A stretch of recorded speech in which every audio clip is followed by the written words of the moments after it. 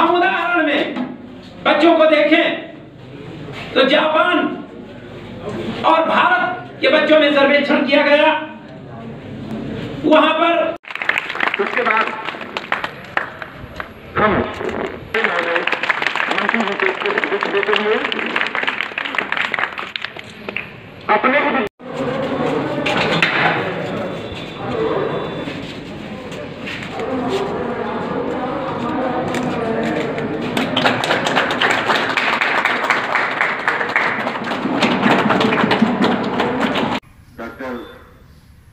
प्रसन्न ओझा जी का भी स्वागत करते हैं। डॉक्टर डी जैना जी का भी स्वागत करते हैं। डॉक्टर रोहित बंसल जी का भी स्वागत करते हैं। डॉक्टर यूडी द्विवेदी जी का भी स्वागत करते हैं। उनके साथ अन्य कोई आया हो तो उनका भी मैं स्वागत करता हूँ। और इस कार्यक्रम में हमारे इस विद्यालय के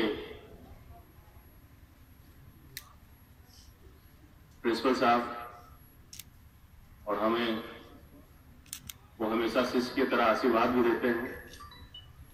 हमारे गुरु भी हैं। मान सिंह राठौड़ जी, उनका भी मैं बहुत बहुत स्वागत करता हूँ। जैसे मैंने कहा, गुरु जी विद्यालय आपको देना है। तुरंत उन्होंने इस बात को स्वीकार किया और प्रसन्नता भी ज़ाहिर किया। उनका भी मैं बहुत बहुत अभिनंदन करता हूँ। यहाँ पर हमारे पत्रकार बंधु हैं। आप सबका भी स्वागत करते हैं। आप सबके माध्यम से कोई भी गतिविधि होती है तो जनता के बीच तक जाती है। और जो भी हमारे यहाँ भारतीय जनता पार्टी के पदाधिकारी हैं, उनका भी स्वागत करते हैं।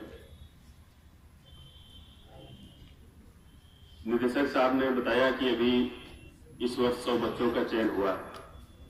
जो क्लास नाइन्थ के हैं, थोड़ा समय इनको मिल पा रहा है। थोड़ा चयन होने में विलंब हो गया, नहीं तो ज़्यादा समय मिलता। लेकिन आगे नाइन्थ में जब चयन हो गया है तो पूरा तीन वर्ष पढ़ने का मौका मिलेगा। और जैसे आगे टेंथ में जाएँगे उसके बाद नाइन्थ का फिर एक नया बैच, जैसा निदेशक साहब ने बताया कि चयन होगा। और दो वर्ष में ये भी बताया कि 400 बच्चों का। तो निश्चित ही हमारे क्षेत्र के जो बच्चे हैं, इनको अच्छा ज्ञानवर्धन होगा, अच्छी जानकारी मिलेगी। और जो विद्यालय से स्टूडेंट आप लोगों को पढ़ाने के लिए आएँगे। तो बहुत मेहनत करके उनका चयन हुआ है। और जब हम किसी अच्छे व्यक्ति के संपर्क में जाते हैं तो निश्चित ही हम नई ऊंचाई को प्राप्त करते हैं। आपको अंग्रेज़ी, गणित, कंप्यूटर, फिजिक्स केमिस्ट्री इन सारे विषयों को पढ़ाया जाएगा। और प्रत्येक सैटरडे संडे दो दिन।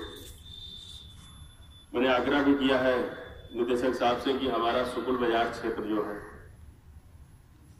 वो यहाँ से 17-18 किलोमीटर दूरी है।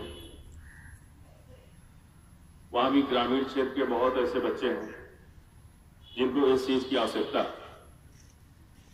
तो आगे, उसको भी इसमें सम्मिलित करने का हमने आग्रह किया है, सुकुल बाज़ार भी हमारा सम्मिलित हो जाएगा तो बहुत अच्छा रहेगा। निदेशक साहब, मैं आपको बताना चाहता हूँ कि शिक्षा के क्षेत्र में हमारी बहुत रुचि रहती है। कि अपने क्षेत्र के बच्चों के लिए मैं शिक्षा के क्षेत्र में क्या कर दूँ? मैं जब इस क्षेत्र का विधायक बना, गवर्नमेंट का कोई भी डिग्री कॉलेज हमारे इस विधानसभा में नहीं था। मैंने कोशिश करके